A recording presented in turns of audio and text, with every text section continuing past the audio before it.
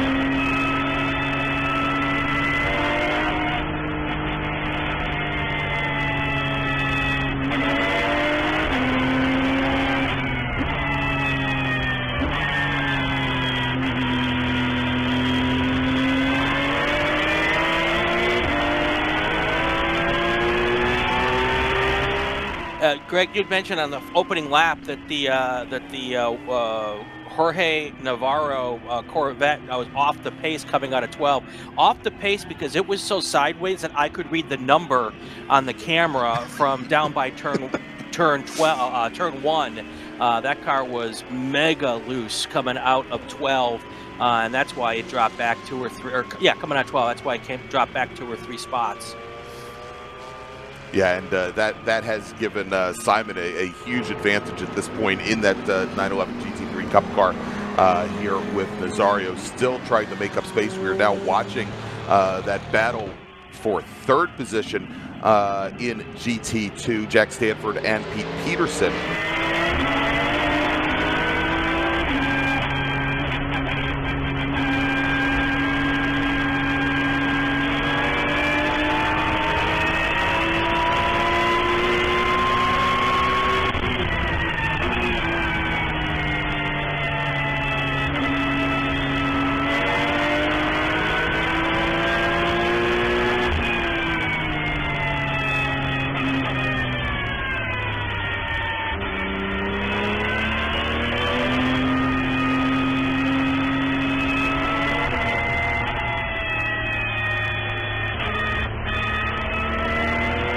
So Scott, Scotty, this morning when there was all those problems in the S's, um, our, our, our, guess was that if you got offline in the S's on the left there, the, the, the, the camber of the corner goes right towards the wall. Is that kind of what was happening with those cars? They were just kind of getting sucked off the track.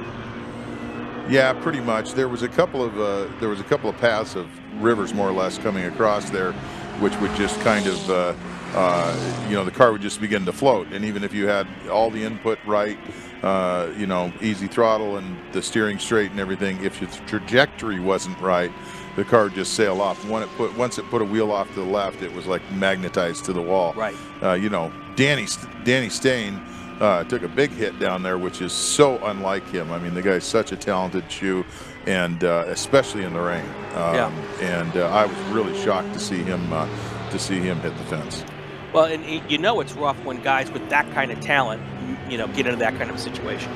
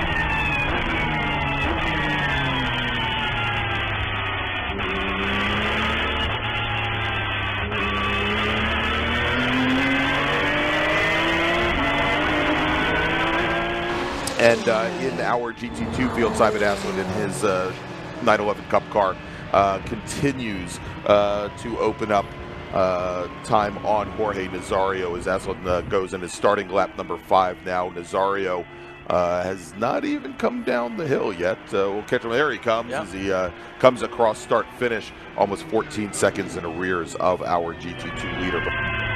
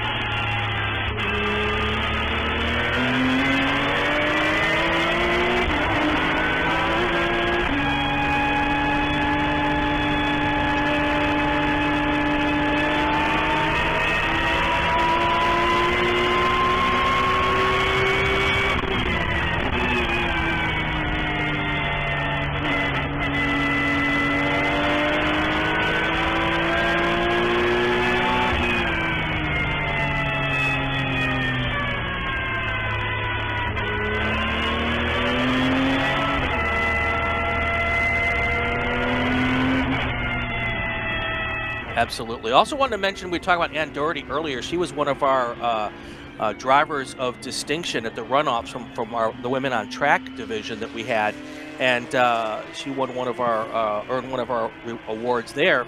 And you, you, you have to realize the, the the conditions at VIR last year at the runoffs were actually worse than we have here today. So, uh, and she was able to shine there. So I'm, I'm not surprised at all that she's doing a, a good job here today. Yeah, she's been uh, she's been like I said, we've been watching her from the from the beginning, and and she is just uh, you know she's she certainly has not plateaued yet. She's still still finding pace, and you know she's hanging out with. Uh, uh, you know, with Gama and Simon and the and the boys over there at Racer on Rails, and and uh, and doing these big treks clear across the U.S. So you got uh, you got a couple Seattle teams bringing bringing truckloads of cars uh, out here, and and uh, anyway, she's uh, she's she's doing a good job as are all those guys. So Simon is also a pretty new guy, and uh, he's really taken to this 911. Yeah, and, and I was I was just looking here as uh, you know, Brian, as we're starting to see some areas where the track is drying out primarily as the drivers are starting to put the power down, starting to dig out of some of the corners like 10B, like turn 7, and heading up the hill. Simon has now turned in a lap time that is uh, almost four seconds faster than the first two laps of the race. It's still about 10 seconds off of what we saw in yesterday's race uh, in the full drive. But uh, again, it's the drivers as they're experimenting and finding places on track where things are a little drier, they are starting to find a little bit more time. Looks like Jorge's starting to step it up a little bit too. He's getting a little bit more comfortable. He might be driving with his wall a little bit. That's a brand new car to him that came from uh, came from the God build uh, over at Phoenix, and and uh, he's uh, he's probably he, might be driving with his wall a little bit, get a good scare on the on the start of the race there, and decide to uh, kind of bring it up slowly. Well, I mean, he, was facing the inside wall. I mean, that's he was looking at the inside wall at one point coming out as well. It was crazy.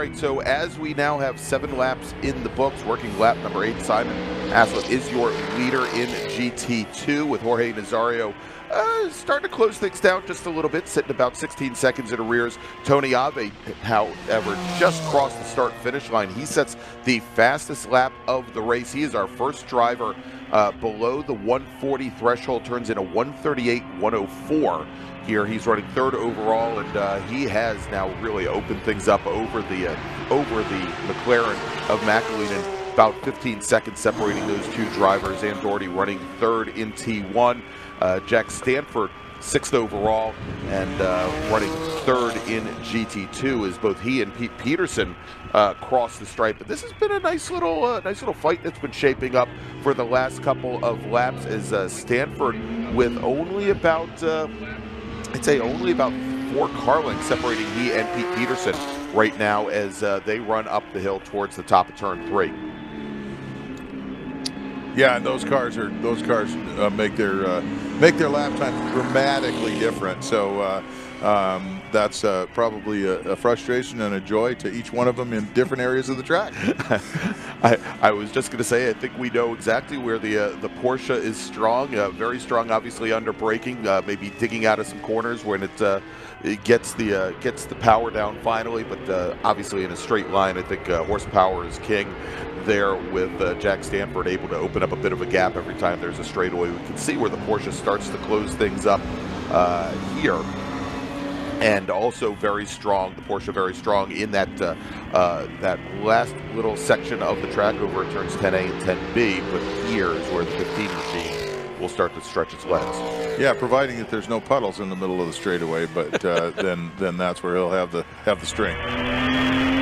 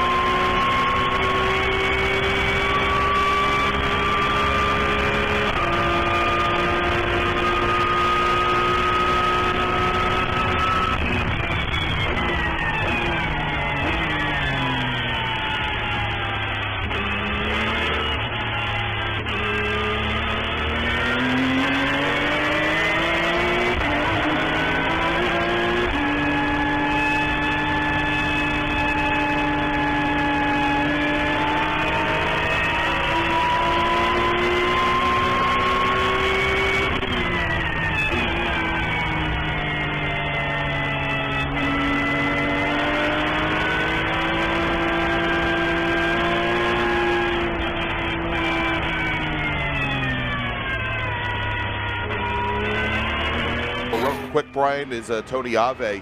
Uh, we saw him pass Jorge Nazario going down under braking into turn 10A. Uh, Ave, who once again sets fast lap, he's now down into the low 137s, uh, is now uh, still your T1 leader, running second overall.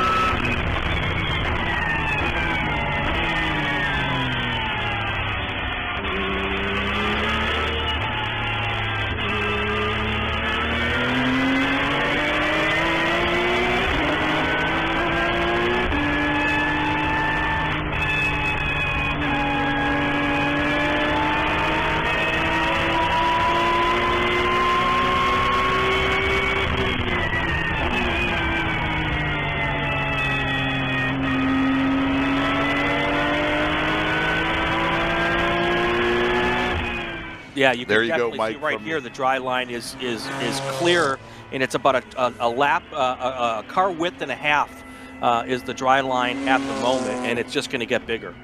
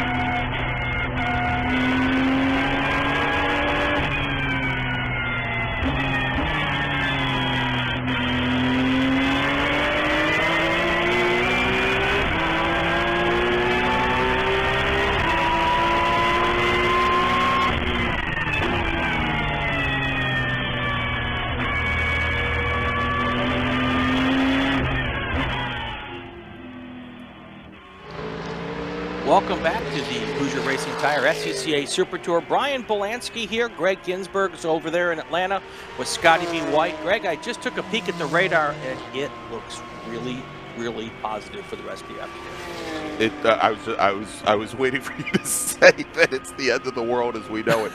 uh, that is, that is. Well, I, I, mean, if I'm going to start quoting bands, I might as well quote a Georgia band already. That's right. Uh, but. Uh, right from Athens, but about 20 miles down the road from 20 miles away from here, exactly. So uh, uh, very, very good as uh, we see here on our timing tower. Uh, about uh, about 13 minutes, give or take, uh, left to go. and it is meant to be a timed race, 35 minutes or though 19 laps, whichever comes first. And coming down the pit lane, Brian, uh, we saw him uh, let out a little bit, come off the pace just a little while ago. Looks like Pete Peterson uh, is uh, calling it a session. He's gone more than halfway at this point, and uh, right. maybe doesn't want to burn the tires up as uh, maybe he does have a set of wets on that car. Maybe as the the track is drying out, doesn't want to burn up a set of tires here. But we're also seeing a, a, bit of a change. We know that Tony Ave has been pushing the pace all uh, all session long. And what we're seeing now coming out of turn five, making the run down to turn six, we've got Tony Ave now only about three car lengths back from Simon Aslin for our overall lead. Uh, that last time by Ave was almost four seconds faster than the Porsche. Uh, all three, uh, both of those drivers coming up on the back of the number 15 machine of uh, Jack Stanford, looking to put Stanford a lap down. But Ave with a great run out of turn number seven looks like he is now going to take over the overall lead. And that's a T1 car uh, coming from the back of the field to take over the lead uh, over all the GT1 cars, uh, the GTX car. Uh, so, you know, that's the, the benefit of having that very nicely set up uh, Mercedes-Benz uh, AMG is it's definitely the better car for these conditions. Yeah, and you can see there where Stanford's having some issues getting through 10B, the rear end, as he's got to be very, very light on the throttle there coming out uh, before he gets that dry patch. The rear end steps out just a little bit, and our uh, our two leaders, Tony Ave, Simon Aslin, they both get by uh, that number 15 machine as they now head down uh, towards turn number one. Actually, it looks like Simon is still uh, still trying to get by.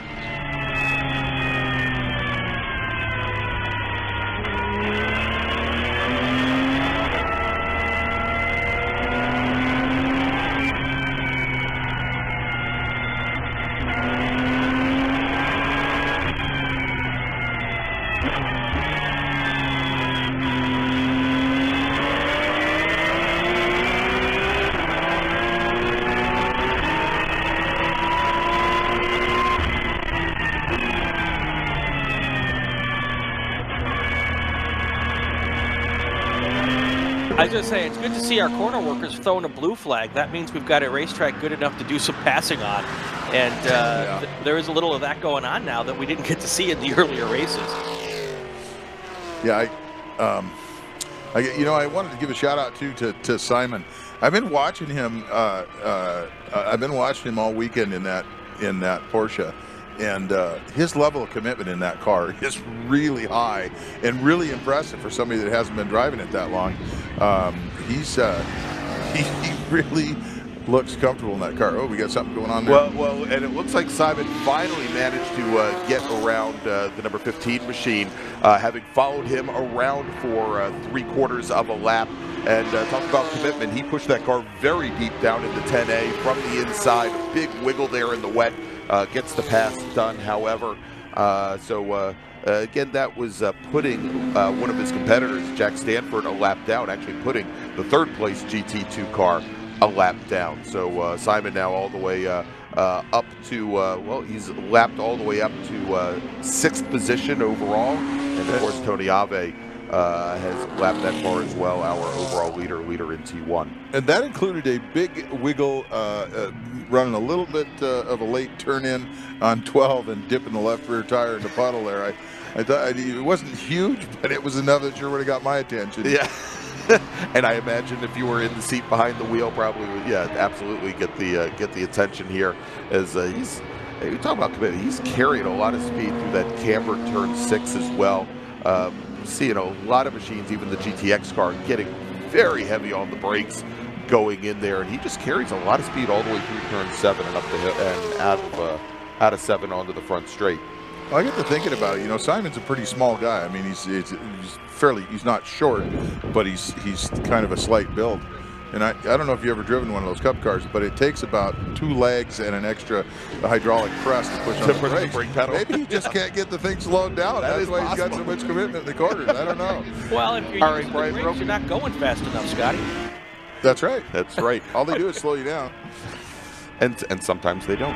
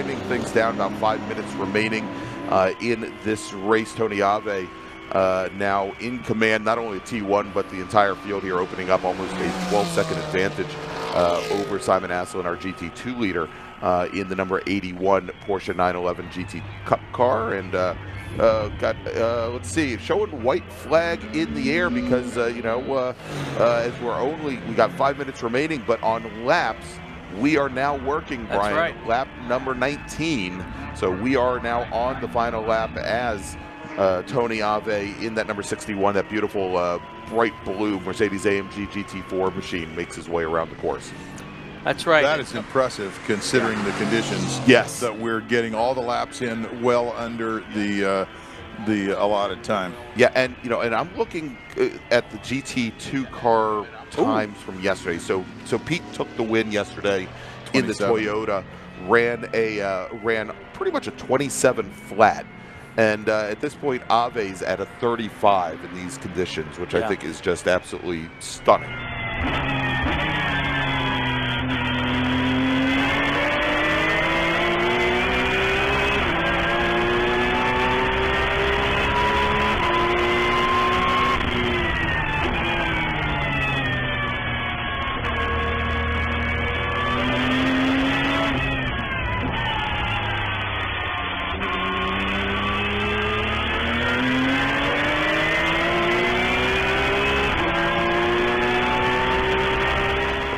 Under braking, coming into the final sets of corners here at Michelin Raceway Road Atlanta. Tony Ave, your leader in T1 and overall. That beautiful Mercedes coming up and underneath the Fox Factory Bridge with one more corner remaining.